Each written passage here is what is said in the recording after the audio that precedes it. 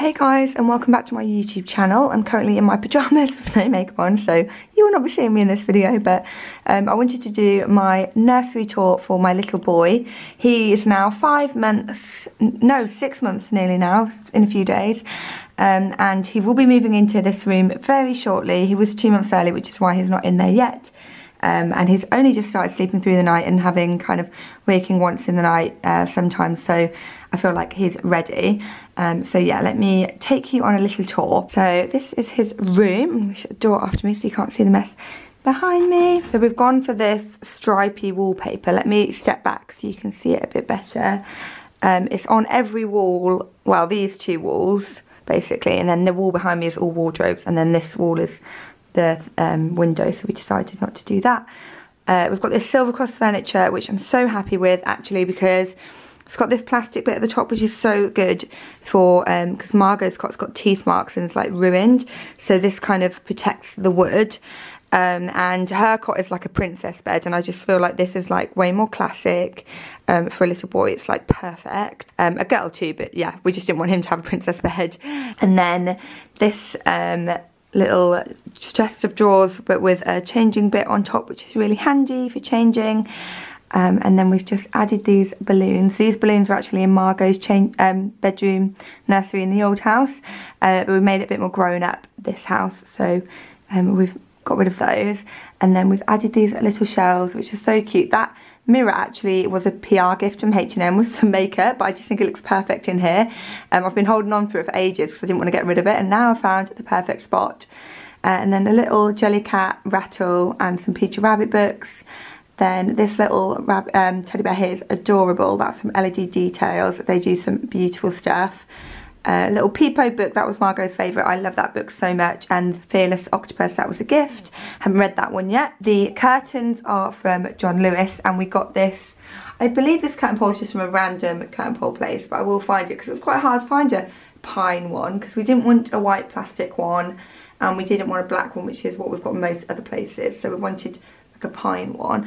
Um, and then these curtains are from John Lewis, I've just said that. They're a bit too short um, whilst I was away my family threw away all the packaging without measuring them.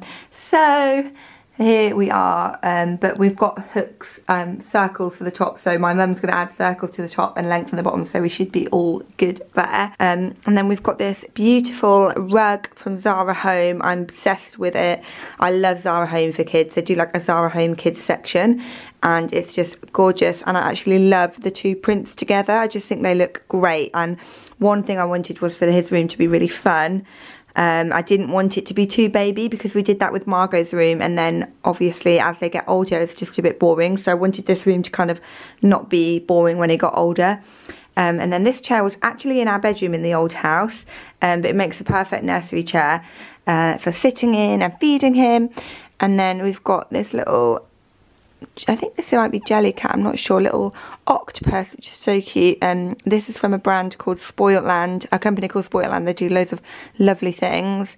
And then a little bee cushion, that's from Zara. Then we move on to the cot. Obviously, I've just shown you guys. I've got it on the full length, uh, um, fully extended at the bottom at, that, at the moment, but I will move it up soon. Um, and then we've got some little teddy bears in here. Um, and this gorgeous bedding from Amarel. I just love all the prints together. I just think they look so lovely. This is such a lovely one. I haven't ironed it, works. Um, but they do the most beautiful bedding, Amarel. We've got some linen bedding from them. Margot's bed sheets are from them. Can't recommend enough. And I just love the prints for kids. They come in a two pack of a printed one and a plain one. Then this is a blanket that my mum knitted. She does actually do knitting as well. Um, like she takes on requests um, so I will link her page if anyone's after some beautiful hand knitted pieces.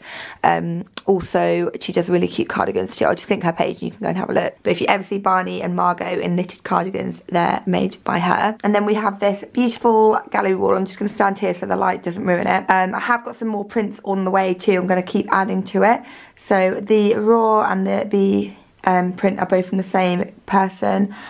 I want to say it's Jasmine something, but I'm not 100% sure, so I will link below.